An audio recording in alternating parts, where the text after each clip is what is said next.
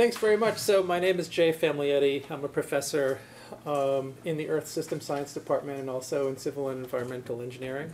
And I'm the director of a center uh, called the UC Center for Hydrologic Modeling. In our research group, we use satellites and develop computer models to track how freshwater avail- availability is changing uh, around the world.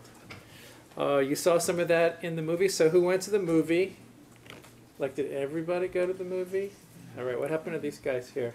All right, I didn't get so, so you guys over here who went. Good. Yeah, that's good. You can lie, it's fine. Uh, so uh, I hope you enjoyed it, and I want to kind of have a discussion format today to, t- to talk about it. Um, before we get started, I know that Professor Matthew talked to you a little bit about some of what I want to go over right now. Um, um, so I'd like to uh, cover some of the research that we've been doing on looking at um, regions where we're gaining and losing fresh water. Um, I guess before I do that, I want to get a sense of the, the distribution of, of who's in the room in terms of um, education. Do we have people that, are here from high school, college, or undergraduates, graduate students? So then, what is the other, the rest of the people that didn't raise their hands? Are we professional? What are we? We're, we're friends? We're, From different countries. you're what?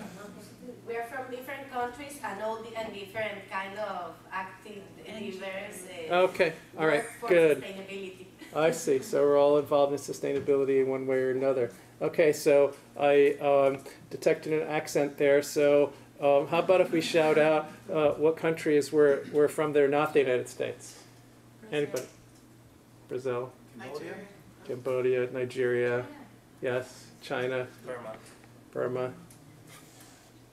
South Korea. Israel. Oh, Israel. Okay. South Korea. Great. Did the team win yesterday, or the soccer team win or lose? I did you watch? I didn't. You didn't watch? Okay, I don't know. I, lo- I lost track. Who knows who won that soccer game? No one knows. All right, never mind. They tied. Okay.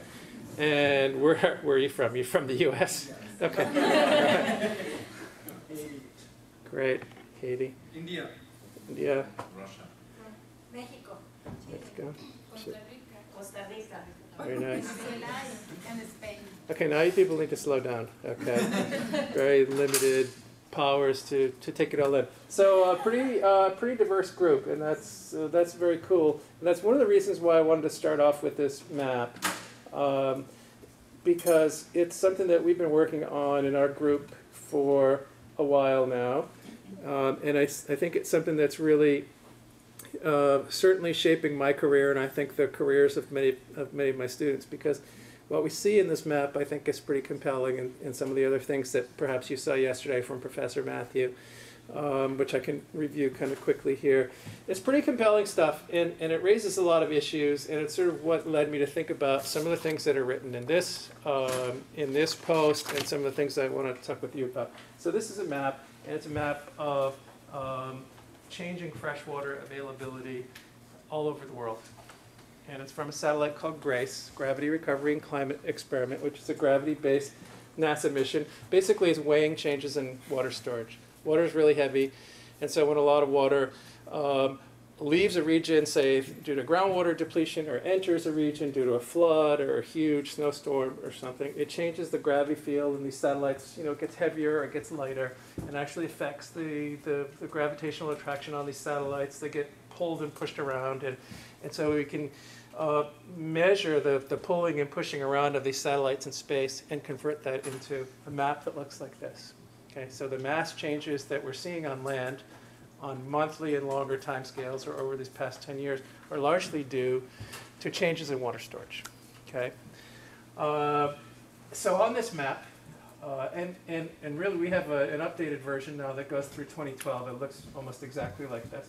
So for the last 10 years, we've been seeing these regions that are gaining water and losing water. And in this figure, the red uh, areas are losing water, and uh, the blue areas are gaining water. So there's a few things that, that kind of pop out.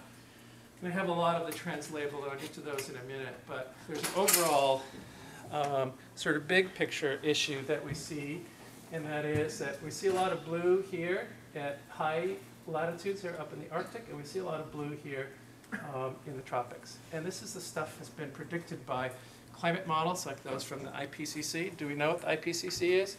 Who knows? Who doesn't know? Raise your hands, don't be shy.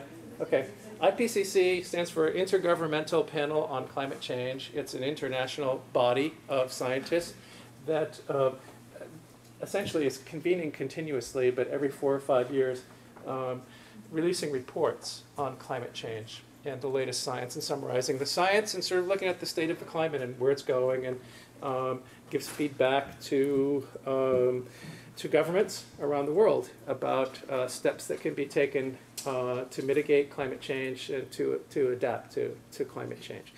Um, so it involves a lot of modeling, computer modeling of climate and how climate is going to change in the future. A lot of the predictions about future climate come from these computer models that almost every government in the world invests. So we invest in four or five or six major climate modeling labs here in the United States, like National Center for Atmospheric Research, Geophysical Fluid uh, Dynamics Lab on the East Coast, and NASA has a couple.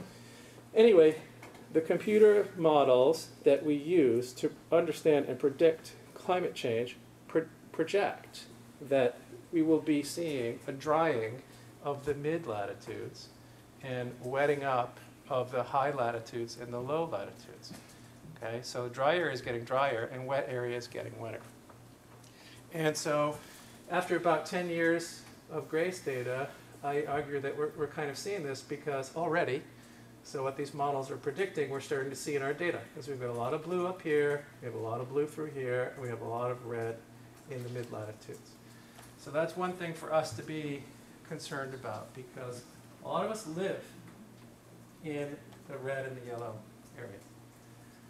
Okay. Now, what about all the red and the yellow spots on this map? The big ones, the biggest ones, the biggest spots, the biggest areas of water loss are tied to the ice sheets, of Greenland and Antarctica. And So we know that those are melting. And this mission, this gravity, this GRACE mission, is one of the key ways now that we use to measure the melt rates of the, of the ice sheets.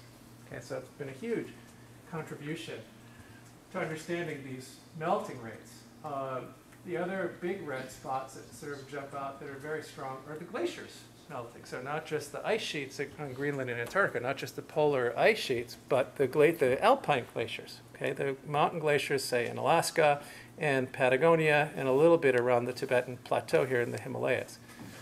But after that, almost all these red spots that we see are related to groundwater depletion from the major aquifers all over the world, in particular in, this, in these mid latitudes, in these arid and semi arid regions.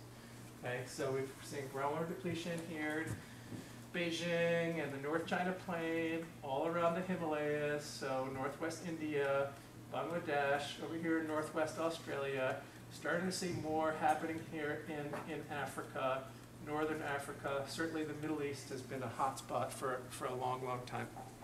Okay, um, and then as we move over to um, the west, um, you know, this is that drought that's been going on for so long here in the in the southeast and is now spreading into Texas. Uh, so this is sort of a combination drought and groundwater depletion signal because let's be clear, when there's a drought, the human response is to use more groundwater. So by definition, there's not much rain, so there's river flows are lower if there's any rivers at all, so we hit the groundwater even harder. So that's something that's happening here. Some of our big agricultural regions in the United States, the High Plains Aquifer, Ogallala Aquifer, where we grow in the United States. If you guys, so we have a very international crowd here. The biggest agricultural regions in the U.S. are uh, the High Plains regions of Texas and Oklahoma, Kansas, Nebraska, all up, up through the central part of the country. That's where we grow our grains, corn, wheat, um, and we use a lot of groundwater to do that. Okay, so groundwater is the water that's stored uh, under the ground, as opposed to surface water like rivers and lakes. Uh, and here in California, in the Central Valley, so the central part of the of the state uh, is a huge agriculture. It's the second most productive agricultural region after the after the High Plains region. And in California, we grow a lot of produce, a lot of fruit, a lot of vegetables.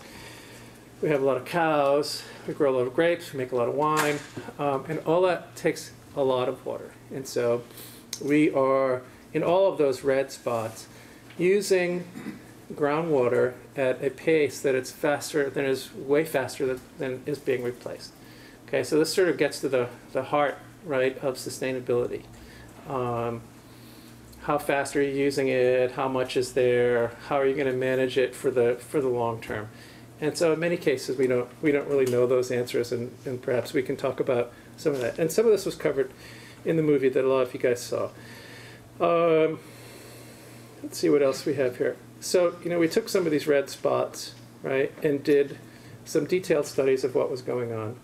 And so this is kind of how we know that it's groundwater. We look at a region like the Central Valley in California that I was just talking about, and we can put together a bunch of different data sets of what's happening with the snow and what's happening with the soil moisture and the reservoirs, and then figure out from what we see from the GRACE data, how much of that is groundwater depletion. So we kind of do detail, more detailed studies on a lot of those spots that are on that map that I just showed you. And so this one's showing the rates of groundwater depletion in the Central Valley and uh, from about 2003 through 2009, 2010. And I guess the most important thing to look at is these two piecewise trends here. Um, so sort of no trend in the early part of the study, and then a big decreasing trend. And so what happened here is that uh, everything was fine. There was plenty of snow uh, in this time period, and farmers were doing great and growing plenty of food. Then we get into this drought, and in California, you know, we move a lot of water around. But Down here in Southern California, people who live in Southern, who lives in Southern California? Okay, so the people that are not my students, where does our water come from here in Southern California? Sacramento, Colorado. Right, right. So we get water from up north, which itself comes from snowmelt. Um, and we get water from the Colorado River Basin, uh, most of which is derived from snowmelt. And there's one more. I've said the word about 50 times in the last minute. Groundwater. Groundwater, right. So that's, that's local, okay? Um, so what happened with the farmers is that their surface water allocations, especially the guys that are down here, their allocation of the surface water here from the Sacramento River Basin, you know, we put it into aqueducts, just like the Romans, and send it down from the north to the south. Um, well, their allocation was cut way back because there was a drought and there wasn't enough. And so they started hitting the groundwater really hard. And so we, and so that explains most of this decline here. So we're using it to grow food, but we're depleting it, right? So from a, so- and in the United States, we really don't have great, I mean, we monitor groundwater through the US Geological Survey. We have a you know, feeling for how much it's changing, but uh, we are not required to report pumping rates.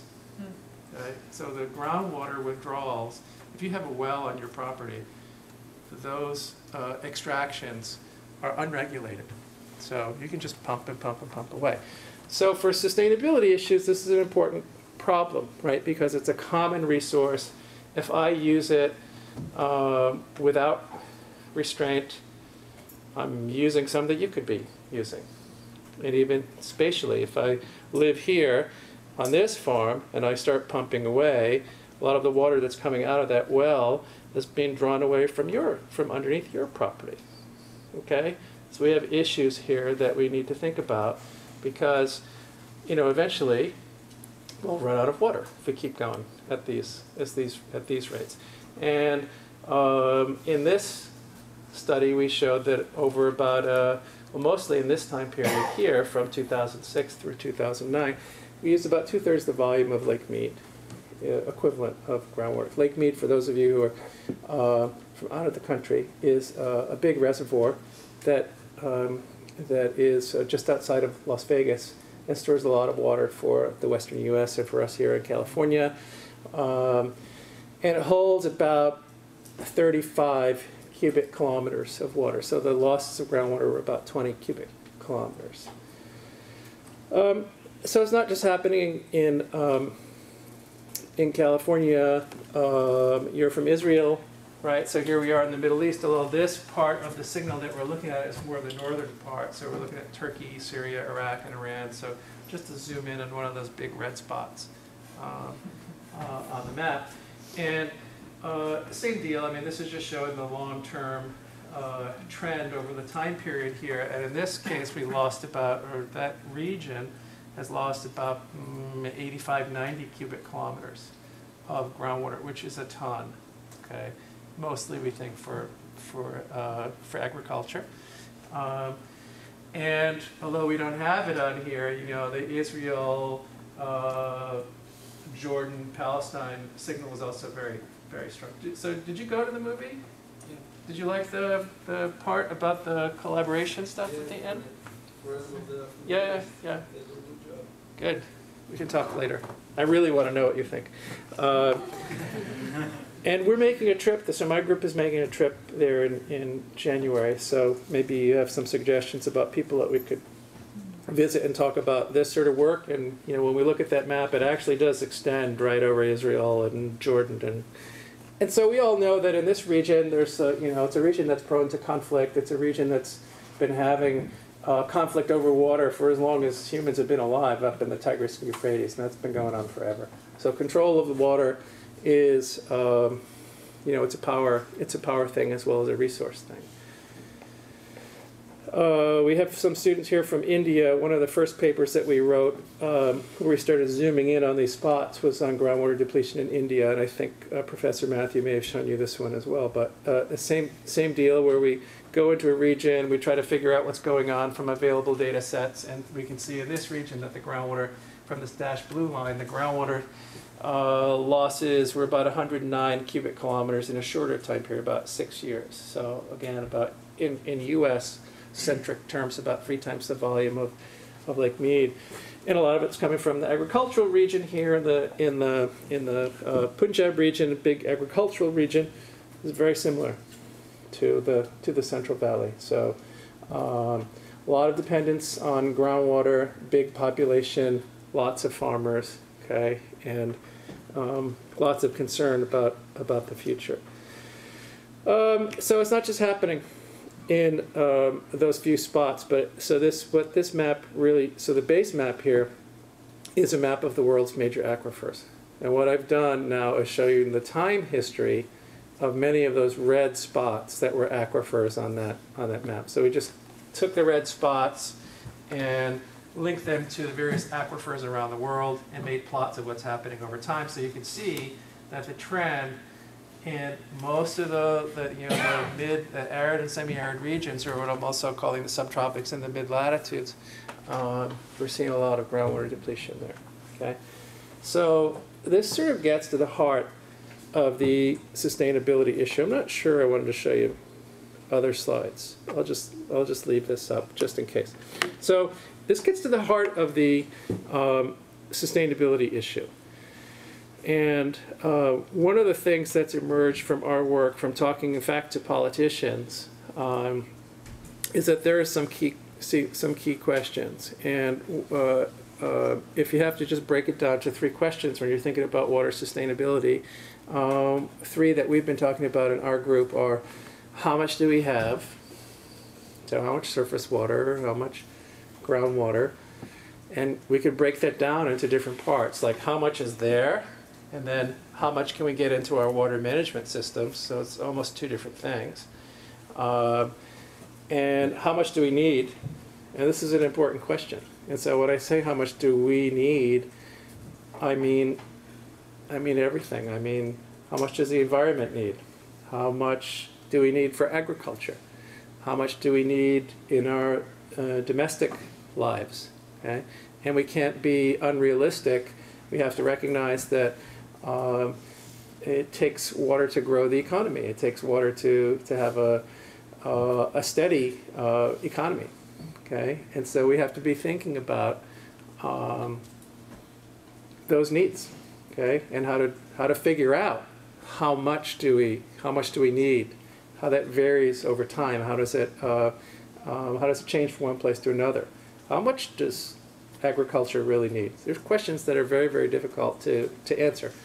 And then the third thing is how are, how are those things changing over time? how our needs changing over time.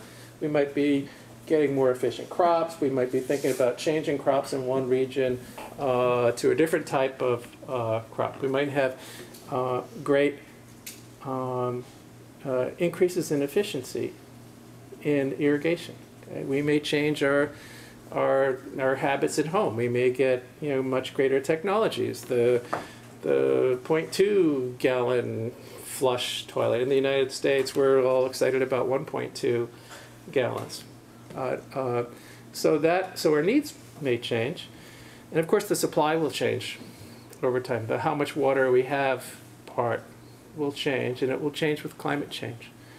All right, so it will change as, say, here in the western U.S. or in the uh, Himalayan region uh, or the Alps in Europe as the climate warms.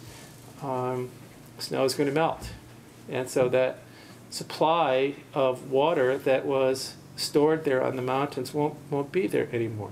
And we may get liquid precipitation, and we may not. The projection projections in California and the western U.S. are, in fact, that we won't. It's not like we'll just go from snow to liquid precipitation and then figure out how to capture some of that for uh, some of that liquid precipitation. The predictions are that the snow won't be there, the snowpack. In California, the predictions are who's from California?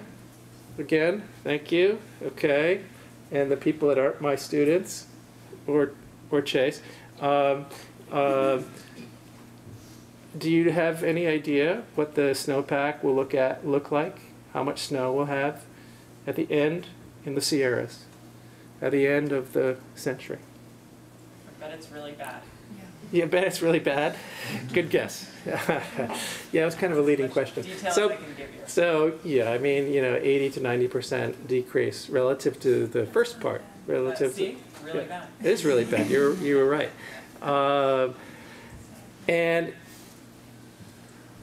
it's not clear that we're just going to have liquid precipitation, right? It's so the the total amount of precipitation will decrease too, right? So we've got some issues with planning and sustainability when it comes to when it comes to water. All right. Um, so I have just a few more things to say, and then I hopefully can engage you guys in conversation and questions, and would really like to hear from um, some of the international uh, participants to find out what their experiences are, what they think of when they see this map and they say, "Oh yeah, that that's you know, here's what's going on here." But there are some things that are brought up uh, in this um, in this post here, and I think they're important for you to realize. And one of them is that we really don't know how much water we have.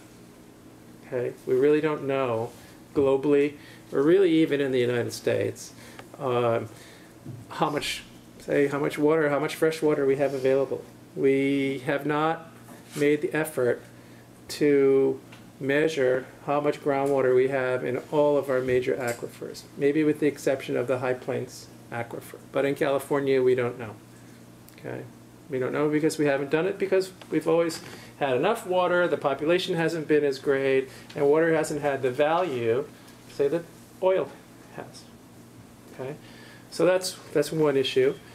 Um, another issue is that, you know, from the perspective of someone who um, works on developing computer models to to understand what's going on now and to predict the future, um, I know that there are certain uh, important observations that don't exist, and a couple of those are that we don't have a three-dimensional description of our groundwater aquifers. We don't. Again, if you use the oil analogy, if it were, if we were worried about oil all over the country, which we are, we have lots of descriptions of the oil reservoirs.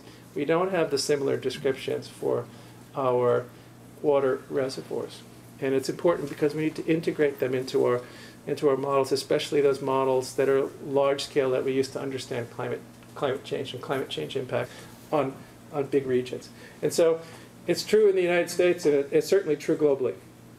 Let me throw another one at you.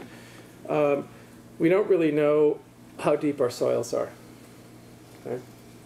And so that may not seem like a big deal, but we're talking about our water environment.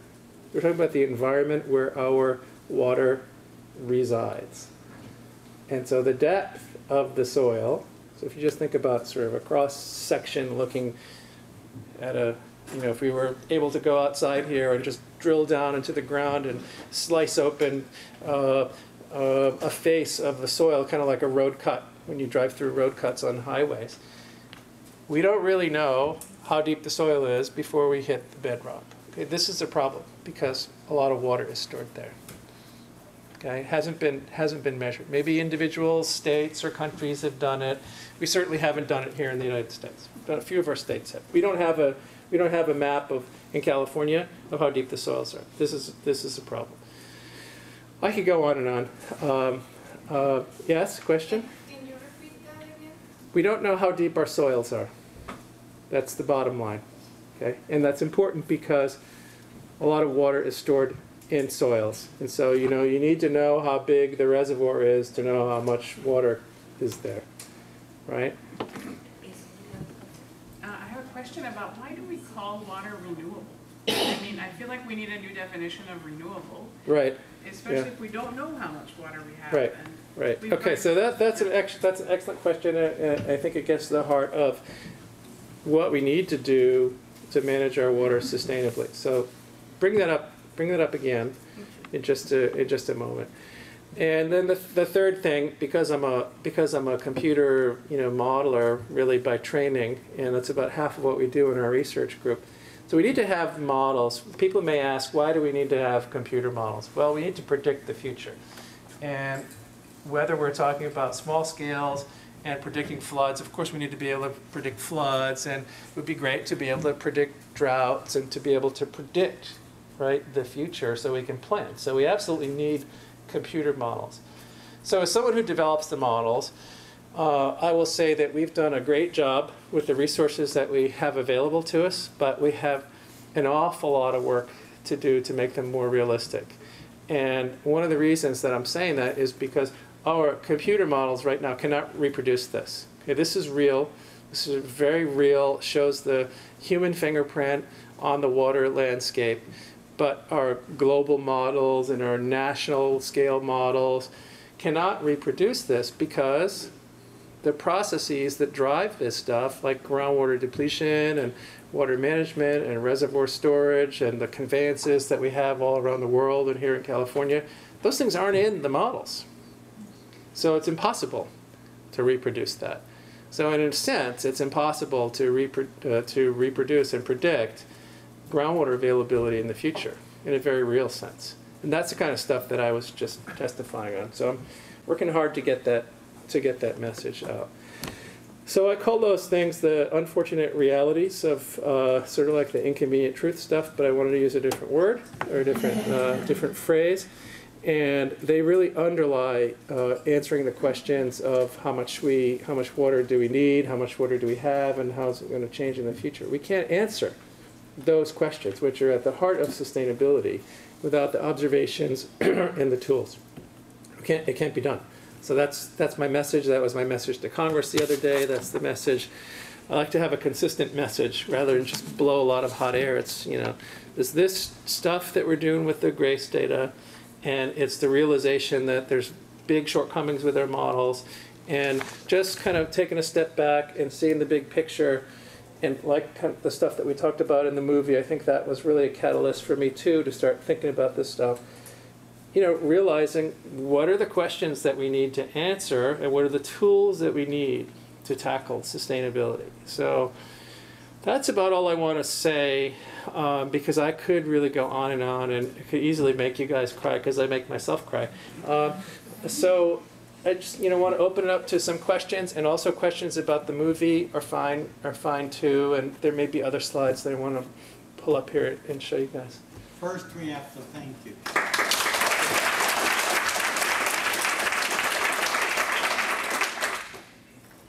Question. Yeah, um, I- you know, I, I appreciate your presentation, I love the film, I found your, um, like, the way you conveyed, the way you were portrayed in the film was incredibly moving. Um, Wow. Thank you. No, it was, yeah. Thank you. Um, And it, it really, as a California, born, born California, it really resonates. Um, I looked a lot about the relationship between science and citizenship. citizens, and what does it mean for science and citizens to work together to create better solutions for sustainability, yeah? Um, and I'm really questioning how important these three questions are, know, that you are telling us is so important, like the fact that we don't know how much water we have, we don't know how much is in the soil. And the reason I'm questioning that is because what I have observed and what I find from my own experience is that even if we don't know exactly how much there is, and we don't know exactly where it is, what's the most critical question is, how are we managing whatever we do have? And then how, what are the political issues that are enabling us to do that management well? Right. And that's what I actually found came out in film very strongly, that like it's a, it's a, these are political questions. Um, so that was one of the really big, and I, I'm, I'm like wondering, why are you tackling the need to have better models instead of the need to either have better models that are integrated with how people are managing it? Like, to me, that would be a very interesting question. Or how is it that you can create, um, you know, to really tackle this social, ecological aspect, the social part of it and the political part of it. It seems to, just from the film, that seems to be where the problem is. Right, okay. So speaking of storage and such things, you have completely exceeded the capacity of my brain to remember your questions. Um, um, So let me just uh, address what, what I can remember. Um, So the questions of um, improving the management part of the models are, are, are critical. That's, that's, we have to do that. So, I mean, you, you know, you said, why do you care about this? How much water we have? Shouldn't we be thinking about, you know, different management strategies? So that was my interpretation of your, of of your comment. And so I agree with that, and that's part of, that's part of what needs, needs to be done, Ab- absolutely. Um, but the core question was, you know, why do you worry, why worry about, um, you know, how much water is there? Well, so that's, that's a fundamental question, and let's just use the bank account and writing checks. I mean, do you really want to just keep writing checks on a bank account and not know what the balance is? Right, so that would be, we don't do that, right? If you're doing that at home, I urge you to not do that. And so I, ur- the reason we've been able to get away with it with water is because some of our aquifers uh, are quite large, and so we haven't had any problems. But now we're starting to face those problems. So to know how long it will be before we're in trouble, you have to know, just like with a bank account. Is there are there uh, like a million dollars in your account, or is there a thousand dollars in your account? There's a big difference. And some of our accounts have a million dollars, and some of our accounts have a thousand, and some have a hundred. And we need to start getting a handle on that. Okay. Wait, I wanted to get back to your question because you were sort of first out of the box. Uh, but I forgot it. But it was good. Um, can we really call water a renewable resource? Yeah. Okay. So, uh, so also an excellent question, and so there's a renewable part of it, and that's the part that's sort of the precipitation and the evaporation, and that's the you know, the difference between the precipitation and the evaporation uh, is what's stored in river discharge. And so a lot of people look at that because we have this annual cycle. You know, water cycle is always moving, and so we've got this difference between precipitation and evaporation, and they think of that as the renewable part, and also the part that maybe recharges the groundwater, right?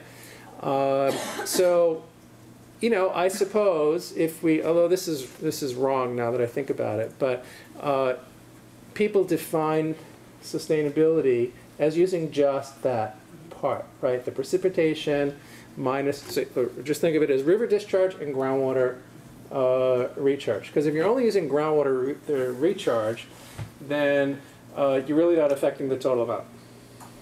That's sort of the idea, okay? Um, and I guess people think that if we just use stream flow, well, that, that's fine too, okay? Because it's going to be renewable, it's going to keep raining. So here's the problem with that. Would you say that there would be value to having a continuum of renewability? And showing that there are certain practices that are quote more renewable than others? Wow. Yeah, sounds good. Yeah, that sounds good. It sounds like a project for you, for you guys. Yeah, sure. I mean, probably we've talked about it in different ways, but no, I think it sounds like a great idea, right? I mean, just you know, knowing how much we're using and Yeah, that's sort of, that's very interesting. I mean, it sort of relates to a water footprint thing, but putting it in the context of renewability and sort of like fraction of what's available it's pretty good. Good job. Um, you've been boots on the ground, talking with climate deniers for a long time, and They're fun.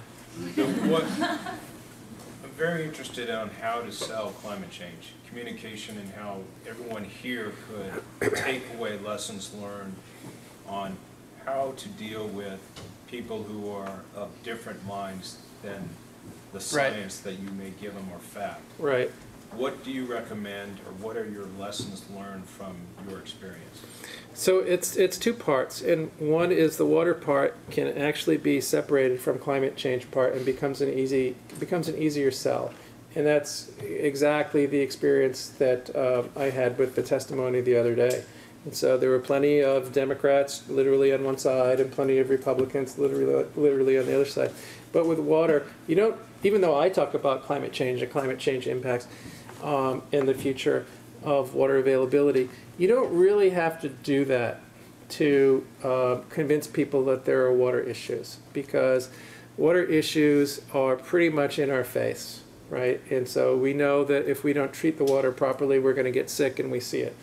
And we know that if we have a farm in the Central Valley, that the water table is dropping because um, the you know the wells are going dry, right? We sense it, we see it, and um, it's hard. I- I- And both that's that sort of you know that's a bipartisan thing. So the water side, um, parts of the water side are easier sells. The climate change stuff, unfortunately, in the United States, you know, it's become quite the political.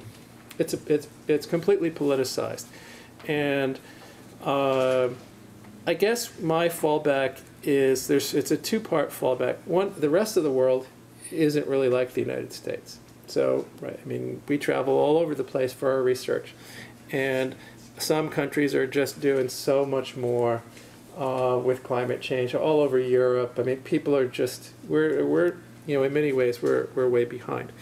Um, but for me, the fallback is always pointing out the things that are happening that are that are obvious, like the ice sheets melting, right, and the glacier. So it's you know pointing to the thawing of the frozen part of the world.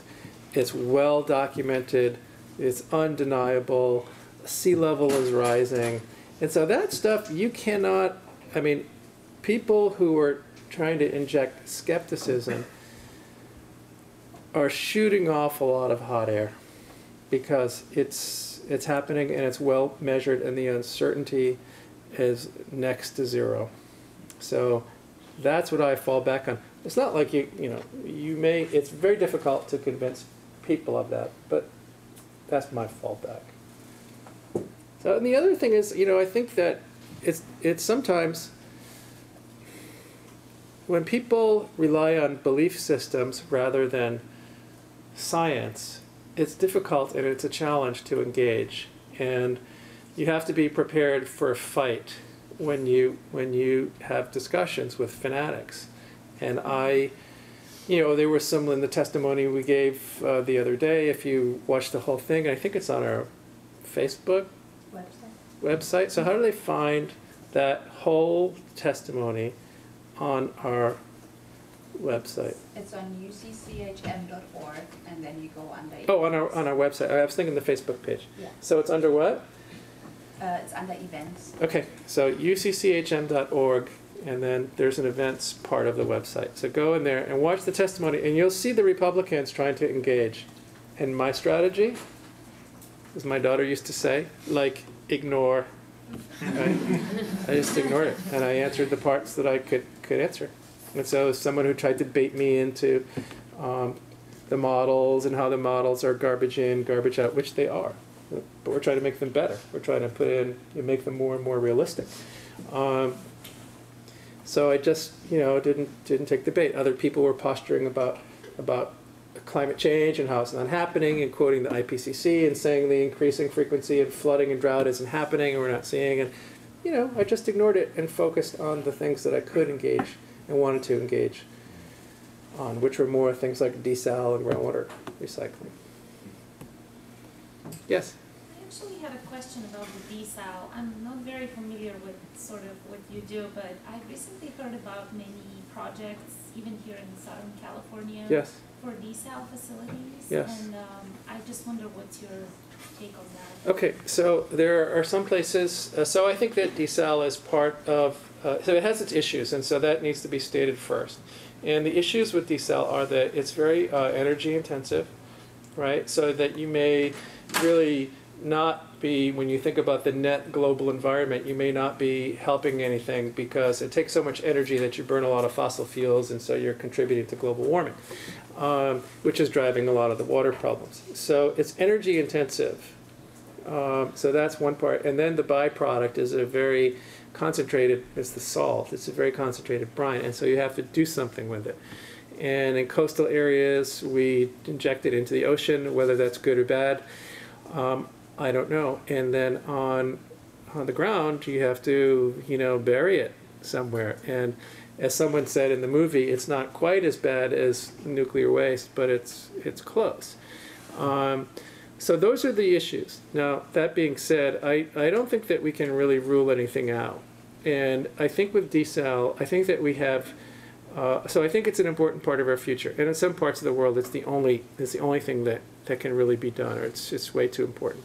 Um, communities that are close to the ocean, it's very, it, it can be cost effective. Um, because you don't have to transport the ocean water inland. Water is really very heavy, and so it's very expensive to move.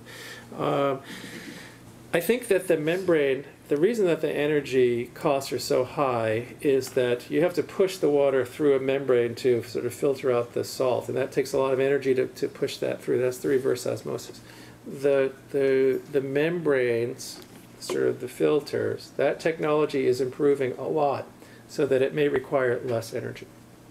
Another thing that could be done, and it was part of the plan in Australia where they recently built four national uh, desal plants um, is to use as much renewable energy as you can. So, wind and solar and, and so on. So that's it. The kind, you know, the jury's out, and I think in the long term, I think it's going to be. I think that it will be viable, and we just need to find solutions for what to do with the brines. I think the energy part can come down. Can can we can we can handle that. I think the brines will. You know, we got to figure out what to do. And who do you think should be in charge, sort of, is it going to be nationally funded or privatized or? I don't know. Yeah, I, and I think there's good. I think there's right, right. I think there's reasons for doing for doing all of that, and I don't I don't have the answer to that. Hi, my name is Felicia and I'm from Barbados. Um, we do have a desal plant in Barbados because we're a water scarce country. Mm, I mean, I noticed we're in the band where it's looking all blue. yes. Um, that actually worries me because we're very heavily cultivated, so to me that means, um, topsoil loss.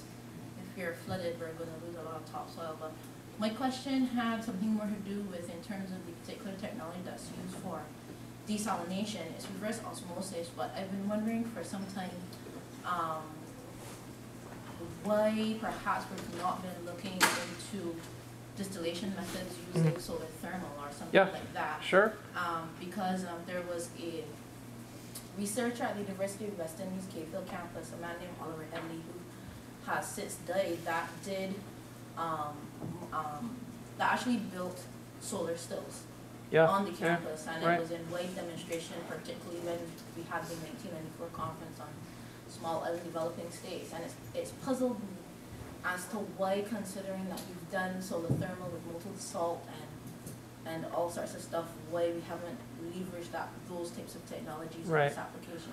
So uh, first, let me say that I think that your accent is super cool. um, um, and uh, and I, I- again, I you know, I don't ever want to pretend to have all the answers, and I don't have the answer to that one, except to to say that it may just be that it's not going to produce enough, right? It just may it may not produce enough. That could be the only thing standing in its way, because otherwise, it's great, right? So, but it may be, you know, we may see, um, and we, you know, we see this in a, a lot in the developing world. So here, here's the problem: if we start to break up the um, the water supply issue and take it from, say, a municipal one to a house by house one, um, I mean, there's a lot of water that can be trapped on your property and, and all that, but the problem becomes one of treatment.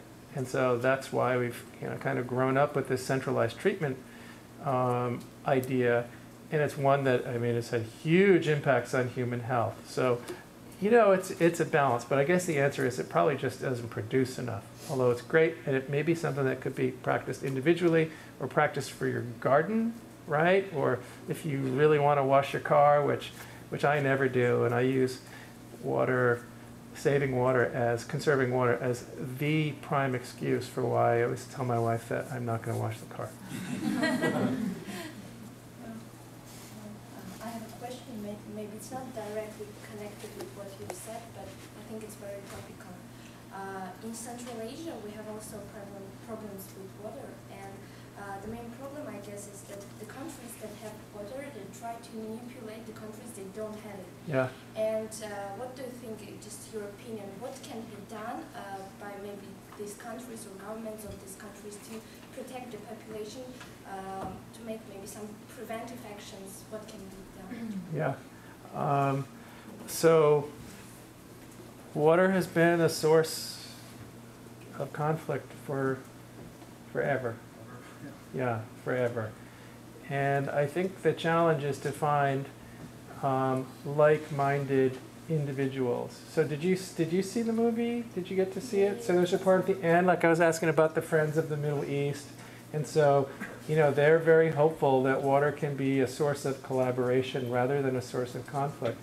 I think it may come down to individuals. It really it really might. So uh, today I got an email um, about I don't know if I I don't know if I mentioned this in our group meeting before, if I mentioned it to you guys, but right after the testimony, um, I got an email about a bipartisan uh, Senate committee on, on water, basically talking about these issues. We have to stop fighting about, and we're just talking about internal United States, but we have to stop fighting. They're talking about Republicans versus Democrats, our two parties here in the U.S. We have to stop fighting. We, we, we agree that you know, we need water and that it's a shared resource. It's a super tough it's a super tough problem, and I think it comes down to um, individuals, and I think it comes down to commitment of the individuals in the countries that are involved. It has to be, you know, it has to be made a priority, because otherwise, it, I don't think it will happen. Uh, question, I see, well, this place has so many uh, good people like you and many of the other ones that are here, that I go running every morning and they are putting water to, but No, all the streets No. in the center and all the parks and all, I don't know what you're talking about. So eh, that yours is so important. Well, look around here. Ca- Look out the window, right? What? Look out the window. No, no, but not here. No, here. I mean, we do the same thing here. I mean, it's ton, we- this takes a ton of water. I'm agreeing. Oh, yes, yeah, I'm agreeing yes. with you. So yeah. maybe, and can't you like do something? Maybe they can give it to you because it's, I don't know. yes, really. Well, because I- you I- were I have- saying of, of beginning in the, you Yeah. are already doing, of course. Yeah. Okay, so uh, uh, there's it's a it's a cultural shift. Uh-huh. That's that's that's I think the biggest thing, and it's really hard to change people's lifestyles and people's personal preferences. And so, here in the United States, and maybe in a lot of places around the world, uh, most people think that you should have a green lawn and a lushly landscaped uh, home. And that's a, that's a cultural thing. And people are shifting away from that, but it's slow. Certainly Irvine grew up, you know, in the, in the 60s and the 70s, and the university as well, in a time where we really weren't thinking that much about water availability. And, um, and so that's why it looks, it looks like it does around here. We have to move away from that. I mean, obviously we have to shift to native vegetation and low water use uh, practices. As a scientist, so you know, I could quit my job and become an advocate. Right, but I'd rather not, I'd rather not do that. And so I kind of draw the line at, you know, we do our research, we build the best tools that are possible, and in terms of affecting change, well, I do things like write this stuff, which is very public. I also try to be non-confrontational, because I think that it's important that, you know, as a messenger, I need to me personally, I want to have a strong tie to the science and not be viewed as someone who's a you know has a lot of hot air and just you know is just just talking all the time. So I want my suggestions and the things that we find to be science based, and I would prefer to say in working with the government, working with the water managers in California, to just present options to say this is what's happening show them our california work show them what's happening in southern california and say this is what we see and this is what our models project and here are some science-based options i just want you guys to have the best available science No, what I refer just one minute is that the, the people will get profit that they have you near because you are already doing maybe more than, than a person can do. Because, and you are giving all your time and all, everything Yes, of I- your strength. yeah, my No, no, no, nickname, uh, That's, but the, the students from here should get the profit, I think is the word, that Yeah. they have you near.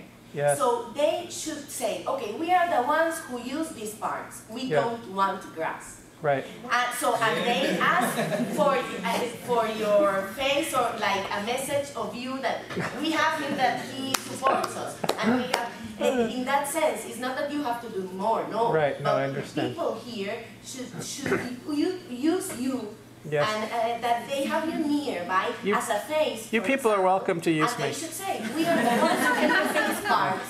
We Right. don't want grass. No, but I'm talking to them. well Maybe but you know your point but your point your point is your point yeah all right So I think your point is well taken because it's, you know, that's what you need. You need grassroots, you need people to come together and say, we don't want that. And that's a good point. So, I mean, we pride ourselves uh, uh, ourselves on our beautiful parks here in Irvine, but if the community came together and said, hey, we don't need to have 20 soccer fields, you know, 10 would be fine. Why don't we turn this one into a, like a succulent garden or something Or like the that? center of the streets. Today I saw Yeah. the cars that throw a lot of water to the center of the street that has grass. Maybe Yes. we don't need grass in the See, this is what happens when visitors come to the United States. They realize how crazy we are. You're right. That's right. You're, I mean, you're No, right. we And realize it at our country because you, Yeah. not you, but they go to our country and do these things. yeah, I know, and it is. But you're right. And, and so, I mean, I think that your point is a good one, especially for the people from the United States or from other countries that do this kind of stuff.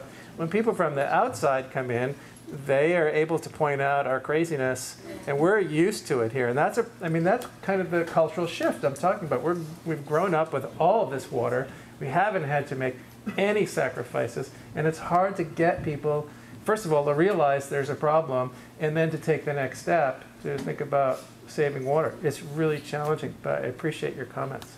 Do you have a question?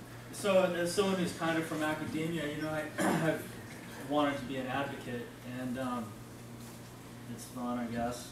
But one of the things that I've noticed is we don't have enough people in academia participating. There's a disconnect between the people with the, the I don't want to say information, because the way I look at it, there's information, there's education, and then there's wisdom, and it's just kind of this upward trend. But the people who are so wise, obviously, you have a tremendous amount of not just information, but you know how to interpret that information people like Scott Mullins, who spoke this morning, I have tremendous respect for Richard Matthews, the advisor.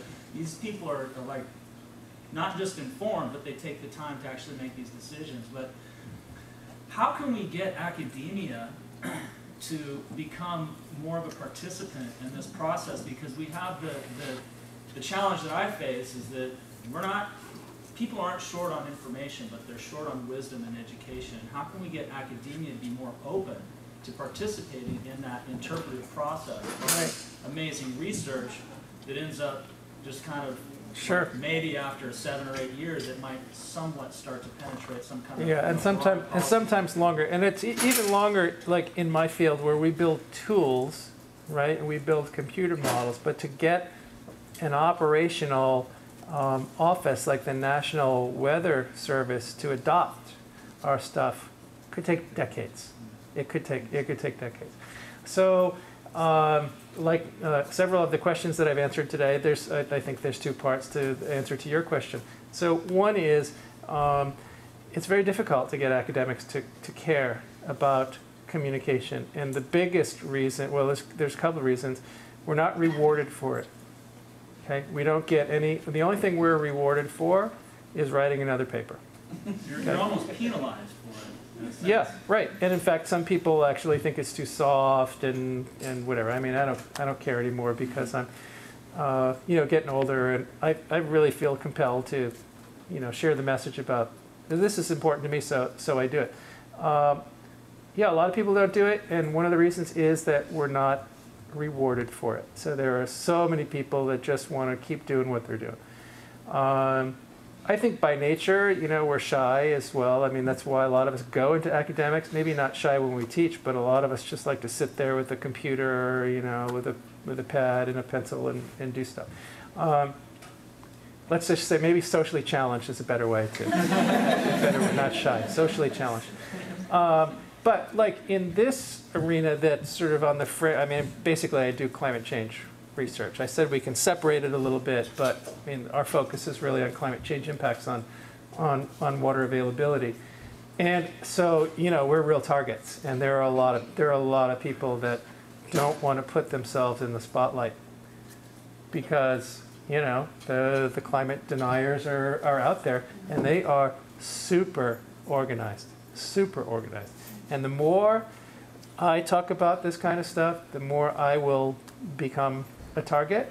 Um, so that's another reason why I just try to keep my comments very science based, as minimally controversial as possible, and still get the message out. This is what we see.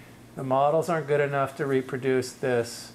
You know, we need to be able to tackle this problem in a technologically advanced way that can help our country, and that's kind of where I where I leave it. But you know, we're targets. How you can take him home with you is, we'll have this up in a few days. Will, please introduce yourself, you had your hand up. Didn't you have a question? No, no, Comment? no. Okay. He's got a, a group of colleagues who are very effective in communicating. So we'll work with them so you can get the linkages and hopefully Juliana will put them on the webpage so you can actually get his congressional testimony. Um, the movie we'll go see next year. She said in 16 months it'll still be on this form. So hopefully he's in town third week in July I'll, I'll put it on my calendar. so we can see how much things are better, which of course we know they're not. So we're going to take, after thanking him, that's my phone. A stretch break of five minutes, and we'll take a longer break after our next program. So join me in thanking him for marvelous